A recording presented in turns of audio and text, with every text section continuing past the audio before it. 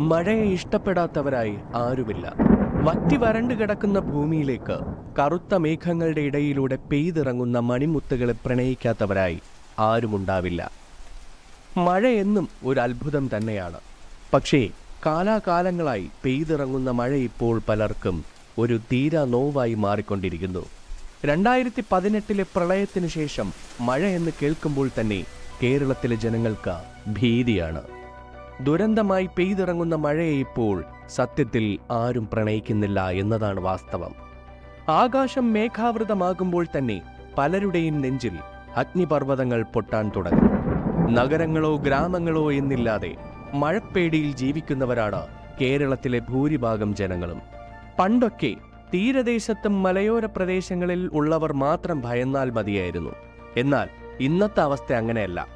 പെറ്റുപെരുകുന്ന ഫ്ളാറ്റുകളും വൃത്തിയാക്കാതെ കിടക്കുന്ന ഓടകളും മാലിന്യം നിറഞ്ഞ ചാലുകളും കാരണം വെള്ളം ഭൂമിയിലേക്ക് ഒഴുകാൻ പോലും പറ്റാത്ത അവസ്ഥയായി.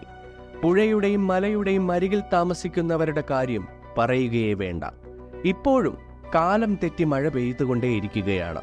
ഇടവപ്പാതി വരുന്നതിന് മുമ്പ് തന്നെ പ്രളയത്തിന്റെ ലക്ഷണങ്ങൾ കാണിച്ചുകൊണ്ട് മഴ തകർത്തു പെയ്യുകയാണ്. ഇന്നലെ വരെ വേനലിന്റെ കനത്ത ചൂടിൽ കത്തിക്കരിഞ്ഞവരായിരുന്നു നമ്മൾ. ഇതുവരെയില്ലാത്ത ഉഷ്ണമായിരുന്നു ഇപ്പോൾ ഉണ്ടായിരുന്നത്.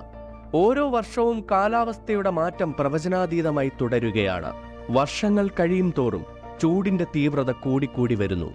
എൽ നീനോ എന്ന പ്രതിഭാസമാണ് ഇത്രയും ഉഷ്ണത്തിന്റെ കാരണം. ഉയർന്ന താപനിലയും ഉഷ്ണതരംഗത്തിനും കാരണമാകുന്ന ഒരു പ്രതിഭാസമാണ് എൽ നീനോ. പസഫിക് സമുദ്രത്തിന്റെ പല ഭാഗങ്ങളിലായി സമുദ്രത്തിന്റെ താപനില ഉയരുന്ന ഒരു പ്രതിഭാസമാണ് എൽ നീനോ. ഇത് സാധാരണയായി സ്വാഭാവികമായി സംഭവിക്കുന്ന ഒരു കാര്യമാണ്. സാധാരണയായി രണ്ട് മുതൽ ഏഴ് വർഷം കൂടുമ്പോഴാണ് ഈ ഒരു പ്രതിഭാസം ആവർത്തിക്കാറുള്ളത്. ഈ സമയത്ത് ഭൂമധ്യരേഖാ പ്രദേശത്ത് സൂര്യന്റെ ചൂട് സാധാരണയിൽ നിന്നും കൂടുതലായിരിക്കും. അതുകൊണ്ട് തന്നെ പസഫിക് സമുദ്രത്തിന് ഈ സമയത്ത് വളരെ ചൂട് കൂടുതലായി കാണാറുണ്ട്. പസഫിക് സമുദ്രത്തിന്റെ കിഴക്ക് നിന്ന് പടിഞ്ഞാറേക്കാണ് കാറ്റ് വീശുന്നത്. തിളച്ചുമറിയുന്ന സമുദ്രവെള്ളം ഈ ദിശയിലേക്കാണ് ഒഴുകാറുള്ളത്. അതായത് നമ്മുടെ ഏഷ്യൻ ഭാഗത്തേക്കാണ് ഈ കാറ്റ് വീശുന്നത്. അപ്പോൾ ചൂടുള്ള വെള്ളം അങ്ങോട്ടേക്ക് ഒഴുകുന്നു. ഇത് സാധാരണ എല്ലാ വർഷങ്ങളിലും നടക്കാറുള്ള കാര്യമാണ്. എന്നാൽ എൽ നീനോ എന്ന പ്രതിഭാസമുള്ള സമയത്ത് ഈ കാറ്റ് വീശുന്നതിന്റെ ശക്തി വളരെ കുറവായിരിക്കും. അങ്ങനെ വരുമ്പോൾ ഏഷ്യൻ ഭാഗത്തിന്റെ നേർ വിപരീതമായിട്ടായിരിക്കും ജലത്തിന്റെ സഞ്ചാരം. വ്യക്തമായി പറഞ്ഞാൽ സാധാരണ വർഷങ്ങളിൽ നടക്കാറുള്ളത് പോലെ ഏഷ്യൻ ഭാഗത്തേക്ക് ഒഴുകി വരുന്ന ജലം കാറ്റിന്റെ ശക്തി വളരെ കുറവായതിനാൽ നേർ വിപരീത ദിശയിലേക്ക് ഒഴുകാൻ തുടങ്ങും. അങ്ങനെ വരുന്ന ആ പ്രതിഭാസത്തെയാണ് എൽ നീനോ പ്രതിഭാസം എന്ന് പറയുന്നത്. എൽ നീനോ എന്ന പ്രതിഭാസം വരുന്ന സമയത്ത് ഏഷ്യൻ സമുദ്ര ഉപരിതലങ്ങൾ വളരെ തണുത്തായിരിക്കും ഉണ്ടാകാറുള്ളത്. ചൂട് വളരെ കുറവായിരിക്കും. അതിന്റെ കാരണം നേരത്തെ പറഞ്ഞതുപോലെ പസഫിക് സമുദ്രത്തിൽ നിന്ന് ചൂടുള്ള വെള്ളം ഒഴുകി വരാത്തതാണ്. സാധാരണ വേനൽക്കാലങ്ങൾ പകുതിയാകുമ്പോൾ തന്നെ സമുദ്രത്തിൽ ചൂട് കൂടുകയും അത് നീരാവിയായി മാറി മഴ പെയ്യുകയും ചെയ്യും. എന്നാൽ എൽ നീനോ സമയത്ത് സമുദ്രം തന്നെ തണുത്ത അവസ്ഥയിൽ കിടക്കുകയും മഴ കിട്ടാതെ വരൾച്ച പോലുള്ള അവസ്ഥയിലേക്ക് എത്തുകയും ചെയ്യും. ഇതുകൊണ്ടാണ് നമുക്ക് ഉയർന്ന താപനില അനുഭവിക്കേണ്ടി വരുന്നത്.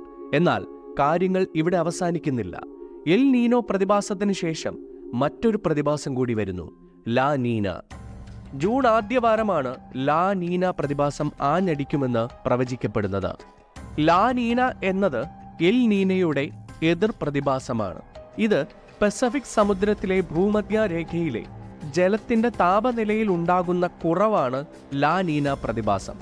ലാ നീനയുടെ സമയത്ത് പസഫിക് സമുദ്രത്തിലെ കിഴക്ക് നിന്ന് പടിഞ്ഞാറിലേക്ക് വീശുന്ന കാറ്റുകൾ അതായത് ഏഷ്യൻ പ്രദേശത്തേക്ക് വീശുന്ന കാറ്റ് അത് അതിശക്തമാകുകയും ചൂടുള്ള ജലത്തെ പടിഞ്ഞാറൻ ഭാഗത്തേക്ക് കൂടുതൽ തള്ളുകയും ചെയ്യും. ഏഷ്യൻ ഭാഗത്തേക്ക് ചൂടുള്ള ജലം പസഫിക് സമുദ്രത്തിൽ നിന്ന് ഒഴുകുന്നത് സാധാരണ നടക്കാറുള്ളതാണ്. എന്നാൽ ലാനീന എന്ന പ്രതിഭാസം കാരണം ഇതിന്റെ ശക്തി ഇരട്ടിയിലധികമാകും. അതുകൊണ്ട് തന്നെ ഏഷ്യൻ രാജ്യങ്ങളിൽ മഴ അതിതീവ്രമാകുകയും പ്രളയം വരെ സംഭവിക്കാൻ സാധ്യതയുണ്ടാകുകയും ചെയ്യുന്നു. സത്യത്തിൽ ഇതിന്റെ അനന്തരഫലം പ്രവചനാതീതമായിരിക്കും. മഴ അതിശക്തമായി പെയ്യുമെന്ന് കരുതാം. പേമാരി മാത്രമല്ല മേഘവിസ്ഫോടനവും ഉരുൾപൊട്ടലും ശക്തമായ കാറ്റും ആനുവീശാൻ സാധ്യതയുണ്ട് എന്നാണ് പ്രവചനം. ചുഴലിക്കാറ്റ് അല്ലെങ്കിൽ അതിന് സമാനമായ രീതിയിൽ കാറ്റ് വീശാം. പ്രളയമോ പ്രളയ സമാനമായ മഴയോ എന്തായാലും ഉണ്ടാകുമെന്ന് പ്രതീക്ഷിക്കാം. രണ്ടായിരത്തി പതിനെട്ടിൽ നമ്മുടെ കേരളത്തെ തന്നെ പിടിച്ചു കുലുക്കിയ ഒരു പ്രളയമായിരുന്നു സംഭവിച്ചിരുന്നത്. ഒരുപക്ഷേ രണ്ടായിരത്തി പതിനെട്ടിൽ സംഭവിച്ചതിനേക്കാൾ ശക്തമായ രീതിയിൽ മഴയും കാറ്റും രണ്ടായിരത്തി ഇരുപത്തിനാലിൽ സംഭവിക്കാൻ സാധ്യതയുണ്ട് എന്നാണ് പഠനങ്ങൾ പറയുന്നത്. ഇപ്പോൾ തന്നെ പ്രകൃതിയിൽ വലിയ മാറ്റങ്ങളാണ് ഉണ്ടായിരിക്കുന്നത്.